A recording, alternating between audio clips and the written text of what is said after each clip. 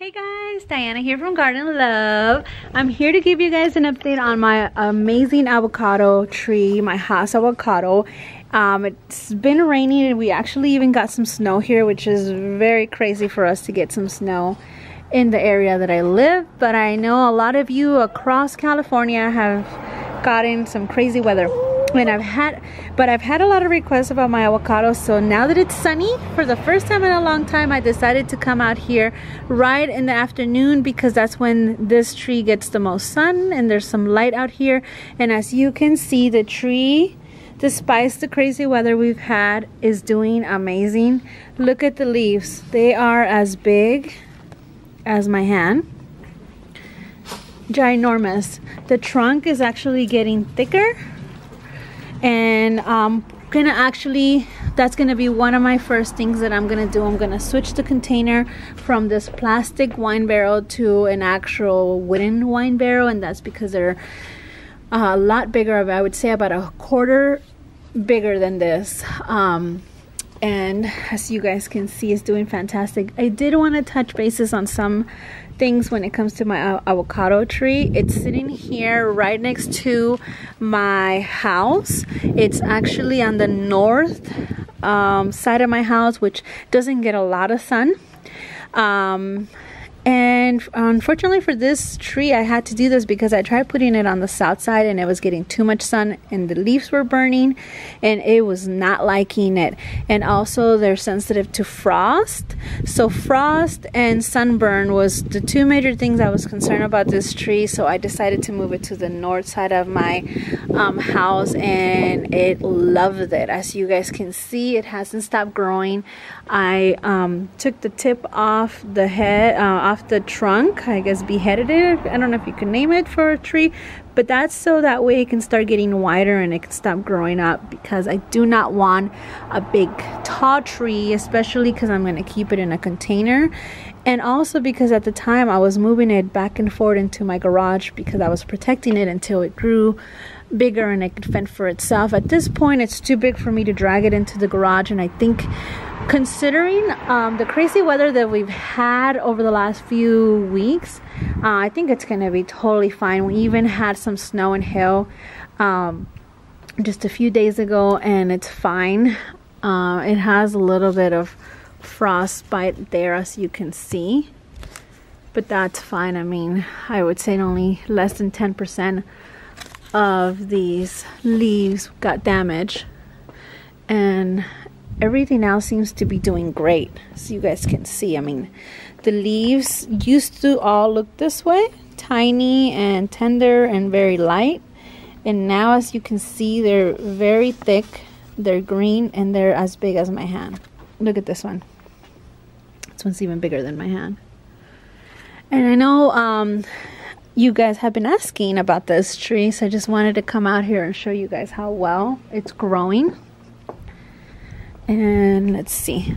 The trunk it's pretty big. I would say maybe about an inch in thickness. I have tons of mulch and it's really really loving it. It's you can see there's some moisture in here. So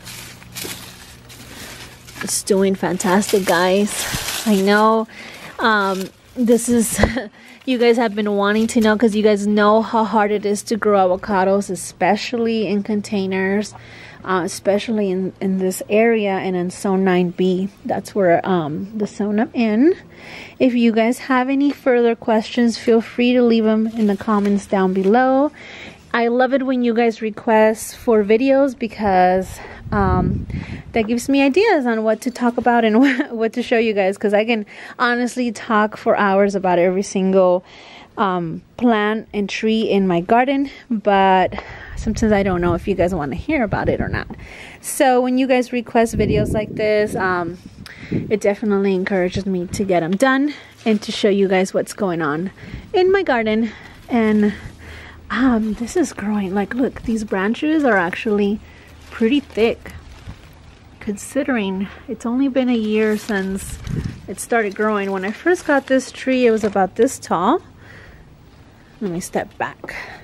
So it was about that tall right there.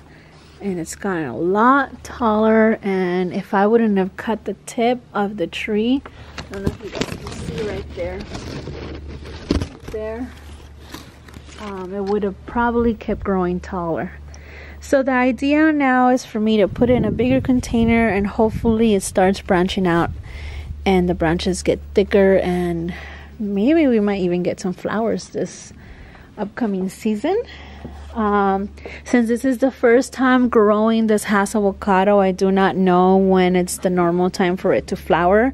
So um, we will find out together because I'll definitely make a video if I see signs of flowering. If you guys are growing this and you guys do know when we get flowers, please leave it in the comments down below. Other than that guys i think that's pretty much it. You guys can see that the avocado tree is doing fantastic. Don't be afraid to ask questions. And if you guys have some information for me i would love to hear any comments and suggestions. Um, that's it guys I hope you guys are having a fantastic day. It's Friday. We're going to have a good weekend and hopefully I'm going to continue to do some more videos. All right, but uh, I guess now that I'm saying goodbye, I do want to give you guys a sneak peek of something that is doing amazing. And I should probably harvest these humongous orange.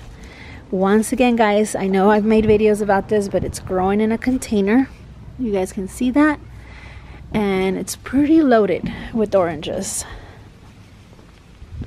Look at that. Alright guys, well that's it. Uh, I hope you guys have a good one. And I hope that um, to hear from you guys.